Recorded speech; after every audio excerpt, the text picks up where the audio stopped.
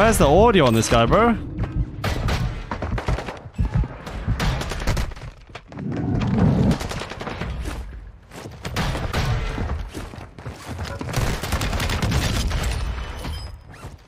Can't outdoor play me, bro.